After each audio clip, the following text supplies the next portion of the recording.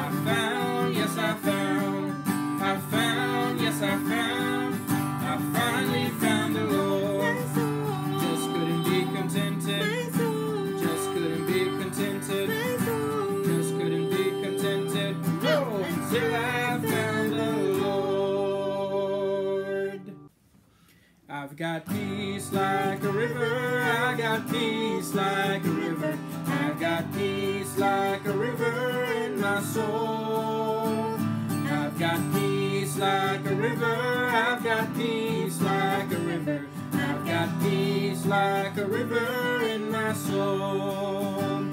I've got love like an ocean. I got love like an ocean. I've got love like an ocean in my soul. I've got love like an ocean. I've got love like an ocean. I've got love like an ocean in my soul. I've got joy like a fountain. I've got joy like fountain. I've got joy like a fountain in my soul. I've got joy like a fountain. I've got joy like a fountain. I've got joy like a fountain in my soul. I've got peace like a river. I've got love like an ocean. I've got joy like a fountain in my soul. Got peace like a river. I've got love like an ocean. I've got joy like a fountain in my soul.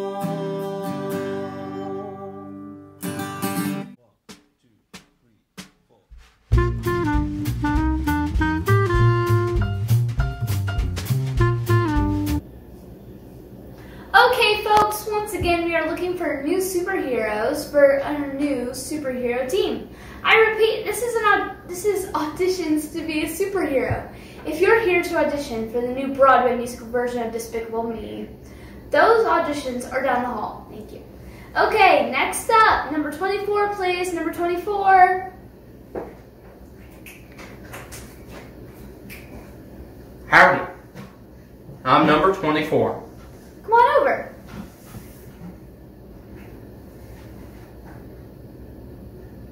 Just like this? That's a little close, but you can back up like a lie. Yes, sir. Your name They call me Mr. Obedient. and your superpower. I do what I am told when I'm told to do it.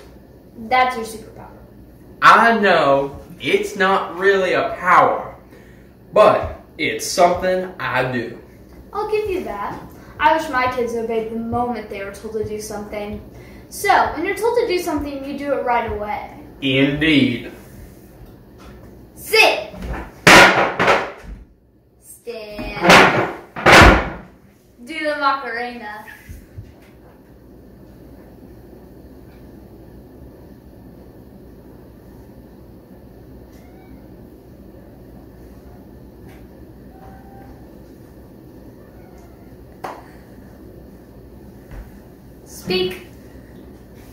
My grandmother makes the best sweet tea in West Western Westbrook.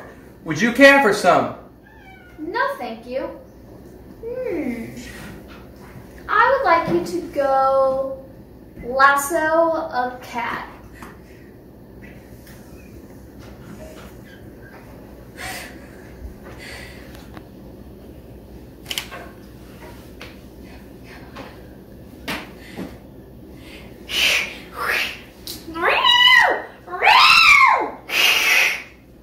Here you are, Martin.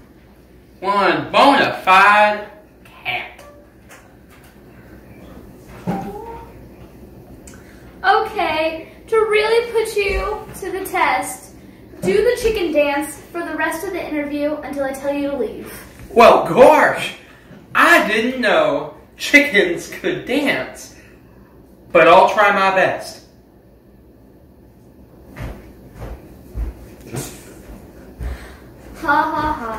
Wow. I am impressed. Oh, thank you. How did you come upon this power? Well, I have faith in my leader. I didn't even question him. I trust his leadership and I do what he says. I see. Who's your leader? Well, in my everyday life, God is. I know God has a plan for me, and I know He won't lead me astray. When God says go, I go. No questions asked. I'm sure God is very pleased with that too.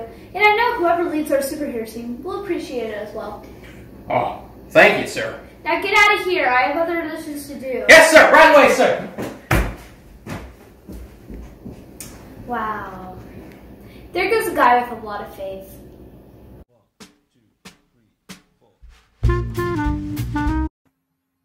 Have you ever realized what a big leap of faith it is to play pin the tail on the donkey? I bet you never realized that playing this game requires all of us to take a big leap of faith. How do you play pin the tail on the donkey? Well, first, you let someone blindfold you. That's when you take something and cover your eyes, just like this picture. Then they hand you a tail with a piece of tape on it. Finally, they spin you around to make you dizzy and they point you in the direction of the donkey. At least you hope they point you in the direction of the donkey. That's the leap of faith. When they stop spinning you, you are trusting that that person who spun you is not going to make you walk off a cliff. You must have faith that the donkey is in front of you and play the game without question. Obeying God is often a leap of faith.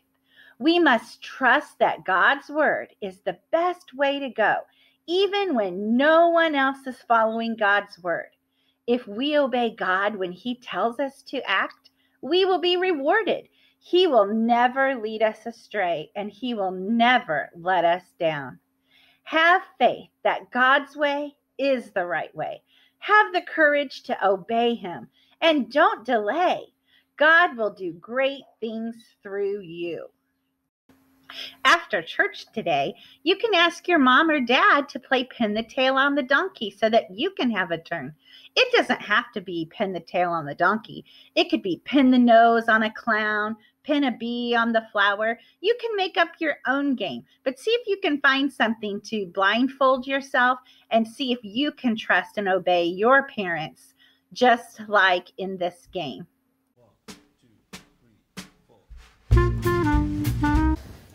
Who can tell me who the leader of the Guardians of the Galaxy is? Star Lord. Okay. How about the X Men? Um, Professor Xavier. Okay. Stone. Who's the leader of the Avengers? Captain America. Okay, good answer. So many superheroes to choose from, right? And who's the leader of the Justice League, Eli? Superman. Superman, okay. Does anybody find it odd that there's all these teams of superheroes, and uh, you know they they are- all have to, one hero to they that they have to choose to be their hero? Mm-hmm. It's kind of weird. There's no question that Captain America, Iron Man, Hulk, and Thor, like they all fight crime all on their own, right? So why do Iron Man, Hulk, Thor, why do they listen to Captain America when he starts giving orders during a battle? Well, I mean, I don't know. You don't know. Do you? No. No. Okay. Well, the reason why is because they're good team players. You know, because they know that they'll do better working as one team with one leader than instead of four individuals. They know that Cap is experienced because he was in World War II. Like he fought the Nazis. Like he's led men into battle. He knows what to do. So he starts calling out orders. And so he's got the wisdom to lead. They follow him. No questions asked. So uh, every superhero team depends on the team members following a strong leader. When teams get divided, like they did in Captain America Civil War, because you know these people were in space, these people on this side of the earth, those people on that side of the earth, they all got divided, um, and they aren't as strong as they can be. The X Men they put their trust in Professor Xavier. The Guardians of the Galaxy trust in Star Lord. As Christians, we trust in someone even more powerful and more wise than Superman. We trust in God. So, today's Bible hero that we're going to read about, his name is Mr. Obedient. So, Mr. Obedient, he is a great man of faith who never hesitated to follow God's commands. His name was Abram, but you guys might know him by a different name. Maybe Abraham. Abraham. All right. So, here's how the story began. And we're going to read Genesis 12, 1 through 4. The Lord had said to Abram, Leave your country and your people, leave your father's family, go to the land I will show you. I will make you into a great nation. I will bless you. I will make your name great. You will be a blessing to others. I will bless those who bless you. I will put a curse on anyone who calls down a curse on you. All nations on earth will be blessed because of you. So Abram left just as the Lord had told him. Lot went with him. Abraham was 75 years old when he left Haran. All right. So now we've got this guy, superhero name, aka Mr. Obedient. Mm-hmm. You think that's a good name for a superhero? Still don't think so. Funny. It's funny. Okay. So, if you made Mr. Mr. Obedient's story into an origin story comic book, wouldn't be very long. There's not a whole lot of story there. He pretty much uh, frame one. We meet Abram, a man from the city of Ur. Frame two. God says, "Go to the land I show you." Frame three. He does it. End of story. so he pretty much just followed God, no questions asked. You won't find many heroes in the Bible or in real life that have that short of an origin story, right? You ever heard of Gideon? So Gideon, he was hiding from these raiders. And God told him, like, you know, hey, you're going to go fight. You're going to go lead Israel. He's like, no way, I'm afraid. So then he laid out a fleece, tested God, and then even though God came through in the test, guess what he did? Hey, uh, can we do the test exactly the opposite and do it again? And God did that. And so then he went. But then there was like all these little steps along the way to finally where the victory is, where we know Gideon as a superhero. And then Jonah. You guys know Jonah, right? He got swallowed by a whale. Okay, he got swallowed up, right? So God told him, hey, go! And if it was Mr. Obedient, he'd have just gone. But what did he do? He went the other way. And then, you guys already said it, storms happen. He got thrown overboard. Big fish swallows him up. How long did he spend in there? Do you remember? Mm, Like 30 days, three days. Three days. There you go. Three days he spent in that belly. And then, what did the fish say? Bleh. What do you do, Stone? Mm, spit him out. spit him out. And so, therefore, you know, that's how his story went, right? But Abram was a had was a man of great faith. He trusted God without question. He mm-hmm. left his home and his family behind for God. He never hesitated to obey God, even when God tested him by asking him to sacrifice his own son, Isaac. Abraham shows us that we can have the faith and the courage to not only obey God, but to do what he asks. So, does obedience come naturally, Stone? Do you want to just obey all the time? Yeah. You do? Dude, high five. That's what I'm talking about. Does it work out that way though all the time? No, it sometimes works and sometimes doesn't. Okay, okay. So it doesn't come naturally. We're what the Bible calls sinners at heart. Ooh, I don't even know what that is. Yeah, I guess it'd be the people that are rebellious. If you if God asks you to do something, you do something different, that's a sin. And that's a rebellious heart. So think about this past week at home. No, no. How many times did your mom or dad have to repeat themselves for you to do what was asked? Um, I can't count. You can't count Nope, that high, or you can't count? I just can't count. Oh, okay. I don't know how many. You don't know how many. Man. No, not a lot. So how many times, you know, and so eventually though, did you listen? Mm, yeah. Yeah. So it's kind of like an origin story, right? Nah, yeah. So we don't like being told what to do, right? No, no. I don't either. We don't like being bossed around. Yeah, I mean, that's even different, right? Being told what to do, it's like, hey, Stone, can you please go put up your laundry? That's just being asked something to do, right? Yeah. Stone! Hey, man, go put your clothes away. We don't like that either. I have to. we have to learn how to listen the first time because if we don't, there's consequences.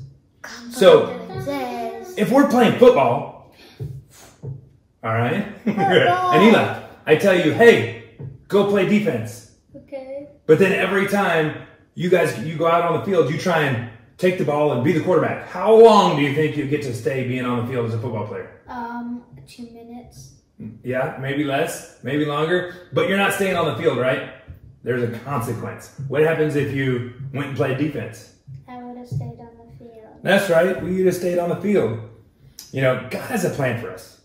We learned last week from Noah, aka Arkman, that having faith means trusting God's plan. If we really trust God's plan, then we'll then we will obey Him. Uh, we will answer when He calls. We'll go anywhere He leads. We won't worry about what people think.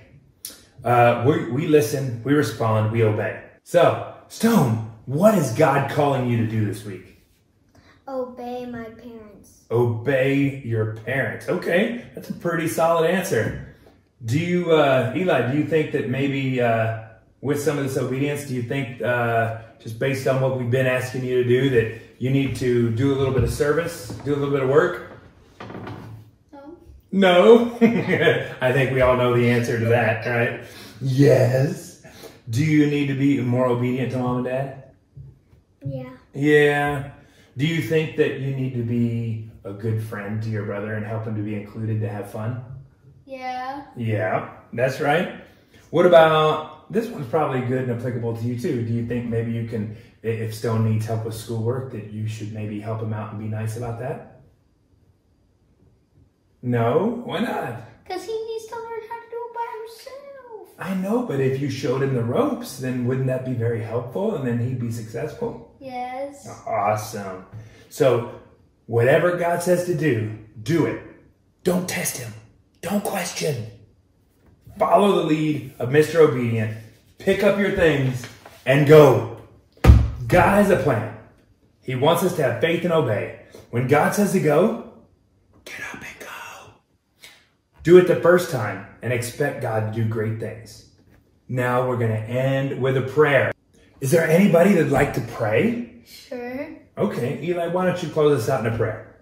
God, please teach us how to obey the first time, like Mr. Obedient did, God. In Jesus' name, amen. Amen. Thanks for joining us this week. Bye.